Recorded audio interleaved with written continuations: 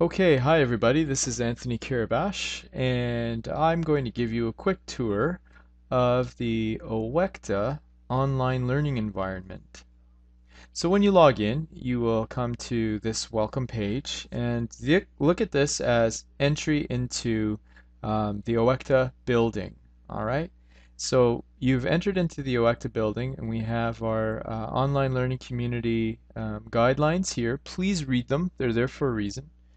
Uh, you have the help menu, you have a calendar, and some of you might have a role switch, but if you don't, um, that's fine. Across the top, um, when you see My Home, My Home brings you into the front or the foyer of the building, so think about that.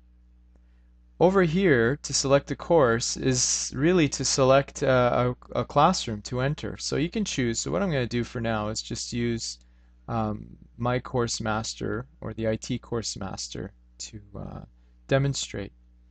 So you enter the course that you've registered in and my home doesn't go away. Your course here uh, is still there and the OECTA logo is still a button and this button takes you back to the foyer. So if you accidentally click it, know that you have to come back into the room by selecting your course. Alright, so far so good.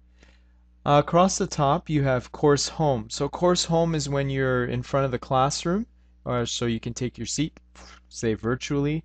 You click on course home, you will always see a news item and hopefully your instructor will be uh, populating that news item with uh, goodies and information for you. If you click on class list, you will see everyone that's registered in your class and you have the ability, availability to email them. You can page them. Okay, you won't see anything else there. So that's the class list.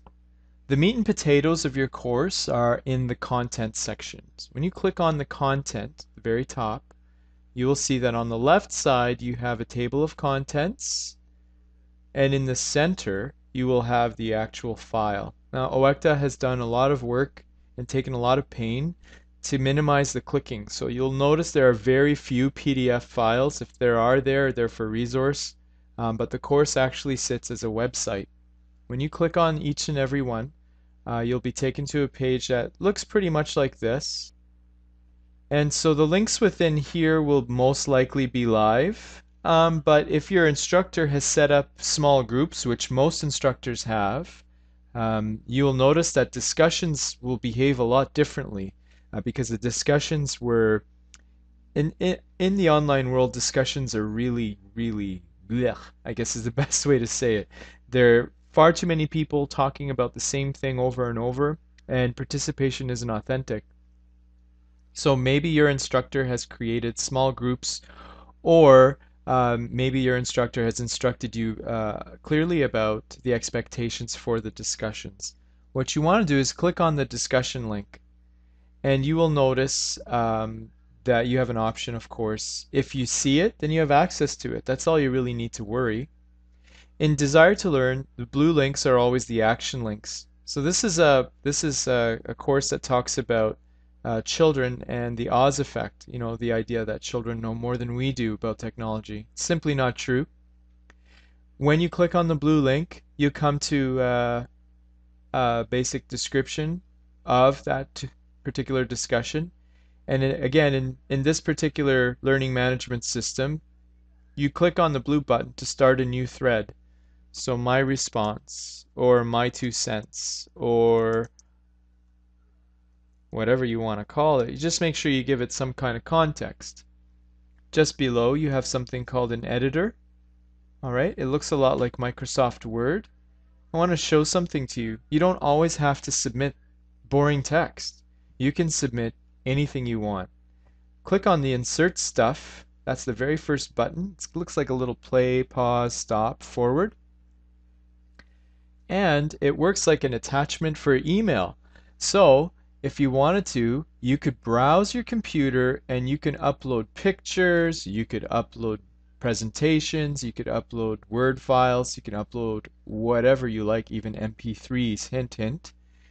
And when you have selected it, so let me just pick one for example, I'll go to pictures, hopefully I have something ready. Alright, and always scroll to the bottom. Don't panic. Always look for the blue action button. Click on upload. And the nice thing about this system is that you see this link across the top here. It's really ugly. So it's asking you, do you want to change that link? And say, yes, my picture. And then al alternate text is for people who have low vision. Okay, if you don't want to input a description there, just click on this image is decorative. And then insert. And this goes for just about any file you want. Anything. You can post just about anything in here and click post. Guys, there's no point in taking an online course if we're still doing the same thing we were doing 25 or 30 years ago. You need to start trying different ways of uploading material into discussions. Okay? So there's my there's my uh, my post. And if my instructor is asking me to respond to the post, I'll come in, I'll say, hey, all right, Carabache has posted something. Let me just click on that link. There's this picture there's my action. Let me reply to that picture. Ooh, that's really cool. All right. And then you click on post. So then that's how you manage the discussions. Your Dropbox again, it's pretty much it's pretty straightforward. So if I have to go to the lesson plan, I click on that link. Here's my instructor's instructions and then files to submit. So I can add a file. Same way as before, I click on add file and then I can upload it if it's a Word document, if it's a Prezi, PowerPoint. I could even record audio. If I click on record audio, it'll activate a recorder. Please read the instructions. If it says it needs a, to be allowed, then allow it. And then in D2L, I can actually record my voice for up to one minute. And the instructor will get that. And then click on submit.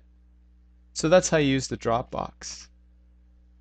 That's pretty much it. That's a great way to start. Uh, if you have any questions, ask your instructor, and I'm sure they will help you along the way. Please take your time and uh, enjoy the course. And we thank you for taking an online AQ with OECTA.